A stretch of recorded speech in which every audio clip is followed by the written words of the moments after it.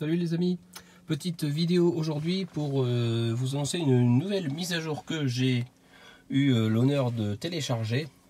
Bon, euh, je l'ai téléchargé il y a, deux, jours à peu près quoi. Et du coup, on va regarder tout de suite. Donc là, il y a aussi une mise à jour de données de navigation. Mais j'ai eu une mise à jour que j'ai installée. Alors, nouveauté de cette mise à jour. Donc mise à jour du logiciel. Dorénavant, la barre d'état indiquera lorsqu'une mise à jour du logiciel sera disponible au téléchargement. Donc ça, c'est sympa. Alors par contre, là, je vois qu'il y a une mise à jour euh, pour le GPS, mais par contre, je vois euh, aucune, euh, aucune info. Ni en haut, ni en bas. Mais bon, je pense que c'est qu'en dirant, il y a une mise à jour du firmware de, de la Tesla. Euh, donc après on a configuration des roues. Si vous avez acheté de nouvelles roues ou si vous les remplacez pour vous, adapter à de nouvelles conditions météo, vous pouvez désormais mettre à jour la configuration des roues de votre voiture.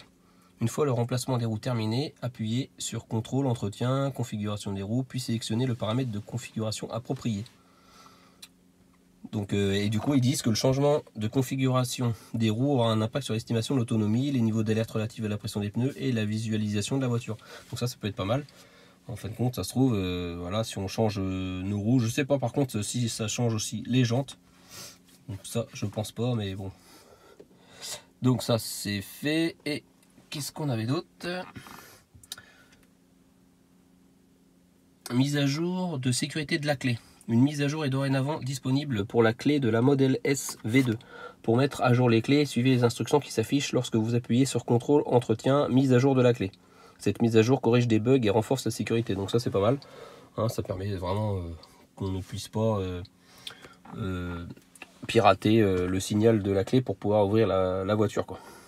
Et on a une nouvelle langue de prise en charge. Donc il y a le norvégien comme langue. Bon bah ça, voilà, moi je ne parle pas le norvégien, donc ça ne m'intéresse pas.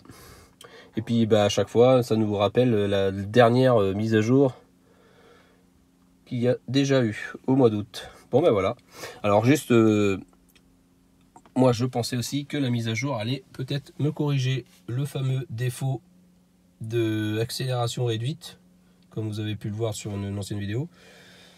Mais malheureusement, non. Après la mise à jour, j'ai toujours euh, le petit point rouge, l'accélération réduite, et puis ben, forcément, oui, l'accélération est vraiment réduite. Quoi ça n'avance pas méga vite. Mais bon ça n'empêche qu'elle peut rouler hein, elle peut rouler euh, j'ai même à plus de 130 hein, j'ai testé donc euh, voilà. Mais c'est sûr que ça y va beaucoup moins vite. Et euh, à ce jour donc ça fait déjà une semaine et demie que j'ai eu Tesla qui doivent me rappeler Chambourcy. Mais pour l'instant toujours pas de nouvelles. J'ai envoyé un mail pour leur rappeler qu'ils devaient me contacter mais pareil toujours pas de nouvelles. Bon je savais que le SAV de Tesla n'était pas était pas réputé pour euh, voilà son sa rapidité mais là pour l'instant c'est vrai que ça commence euh, ça commence à m'inquiéter aussi euh, à me gonfler un peu de ne pas avoir de nouvelles quoi. Même si au moins d'avoir des nouvelles qui me prennent rendez-vous même si vraiment ils peuvent me réparer ça que dans un mois c'est pas grave mais au moins que j'ai une date quoi. Bon bah de toute façon je vous tiens au courant hein, pour la résolution de ce problème. Et si il y a des futures mises à jour voilà je ferai des petites vidéos. Bon allez salut les amis